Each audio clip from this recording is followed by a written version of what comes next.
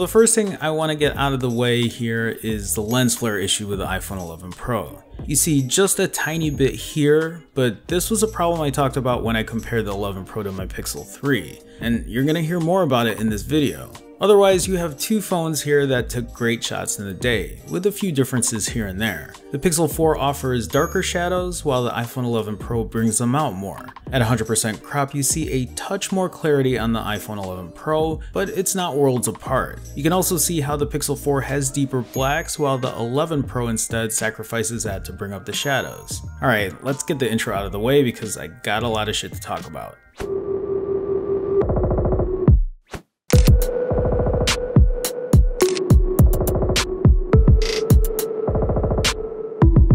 Again, two great shots, and again, here's a bit of that lens flare I was talking about on the iPhone 11 Pro. Otherwise, both provide excellent results, and at 100% crop, you see better clarity on the 11 Pro with a hint of what looks like sharpening here.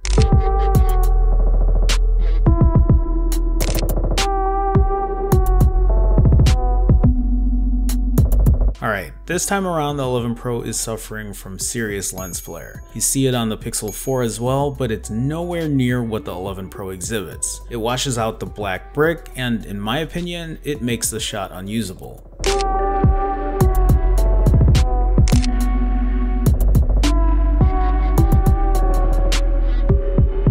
There's a theme for this video, it's that both these phones take pretty great shots. Both perfectly usable, especially for something like Instagram. If anything, you see the iPhone putting a little more pop in the orange here. At 100% crop, I see a few sharper spots on the 11 Pro, but other areas the Pixel 4 has a clearer result.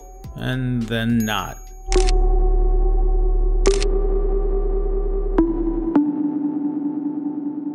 Okay, here we go again with the pops of color. Look at how red these fire hydrants are on the 11 Pro compared to the Pixel 4. What you like more is going to be personal preference, but I can assure you it wasn't that red when I took these photos. You can also see what I mean about the lighter shadows on the 11 Pro in the brush here. At 100% crop, the iPhone 11 Pro offers a sharper shot and even deeper blacks over here, with much less noise slash grain that the Pixel 4 is obviously having issues with. Now I'm gonna switch this up a bit and talk about indoor lighting and portrait mode for a second. So my buddy Steven was nice enough to take a few shots for me and I will say the Pixel 4 has definitely upgraded in the portrait mode department. One of the things that struck out to me is how well the Pixel 4 handled separating the subject from the background. Honestly, a lot better than the Pixel 3. I'll have to do an official test, but I'm pretty sure I'm spot on with this one. Now let's talk about white balance. The iPhone 11 Pro is shooting warmer with a yellowish tint and it might not be that yellow yellow under the conditions we were in, but it's more realistic than the Pixel 4's much whiter, brighter tint. Although honestly, I prefer the Pixel 4's lighting here.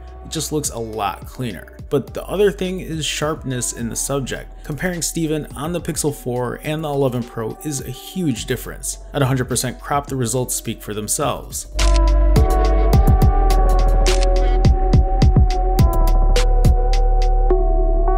In this second set, again, both impressive portrait shots, but the clarity on the Pixel 4 just stands out. At 100% crop, you can see the 11 Pro had a little trouble figuring out the hair, while the Pixel 4 seemed to nail it down. And just to close things out with the indoor lighting, white balance stuff, you can see the differences here. Detail and clarity is pretty much similar for both, but the 11 Pro definitely shows a much more realistic representation of lighting than the super white and bright Pixel 4. So as we start heading to low light and night shots, here's a few I took at dusk.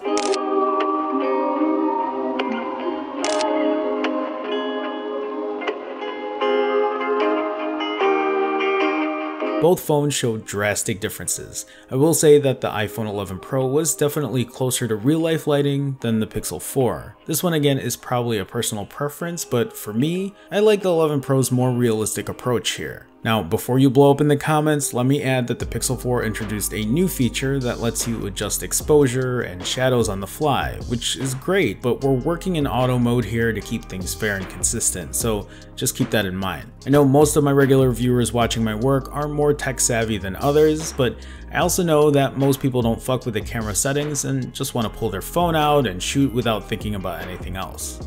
Moving on. Now if you preferred the Pixel 4's last dusk shot, what about this one? Again, you have a much more colorful, brighter sky, but this time you're dealing with a ton of noise that comes along with it. You can also see how the lights in this walk path overexpose and ruin the shot. Look at how bright the light shines on the Pixel 4's walking path versus how well it's lit under the iPhone 11 Pro.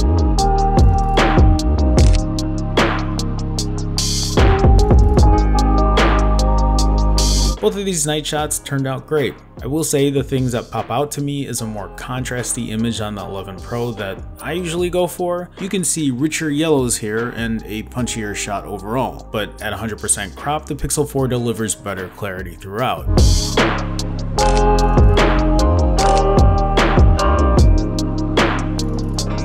And again, while both of these shots look pretty similar from afar, there is a bit of overexposure on the left side of the image with the Pixel 4, giving off a blue aura. But at 100% crop, the lit sign is less overexposed on the Pixel 4, including the interior light. Here, the color temperature between these photos is a little different. A little cooler on the Pixel 4, a bit whiter, even bluer in tone. Cropped, you can see better detail on the Pixel 4, but you also have a bit of a smoothing effect that might be taking away from the photo. The blue light also turns bright white with more of an unbalanced blue hue outside it.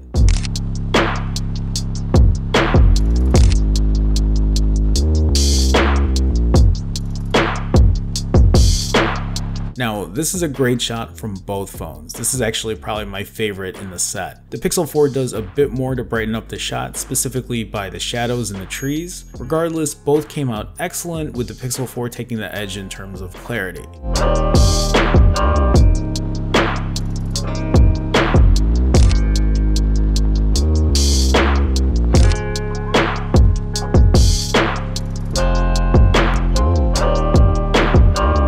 There's one thing that the Pixel 4 needs work on, it's the night sky. I think my biggest gripe so far is how noisy it gets compared to the 11 Pro. The rest of the shot might come out great, but if that sky is full of noise, I think it ruins the photo overall. You can just see what I can only call splotchy marks everywhere here. Now in these next couple set of shots, you're gonna see the Pixel 4 overexposing way too much. You can see it in the lights here and here, while the iPhone 11 remains more balanced. And in this last set of shots, both would have been perfect, if not for the Pixel 4 overexposing on the left washing away the green shrubbery along with it. The iPhone 11 Pro is definitely a great upgrade from last year's iPhone XS when it comes to its photo taking abilities. The Pixel 4 has stepped up its game as well, probably not as big a leap as the iPhone since the Pixel 3 already did so well last year. If anything, the 11 Pro's caught up with the Pixel in terms of low light and night shooting. I will say that the iPhones offered some great clarity in its day shots, better than what I'm seeing on the Pixel 4, but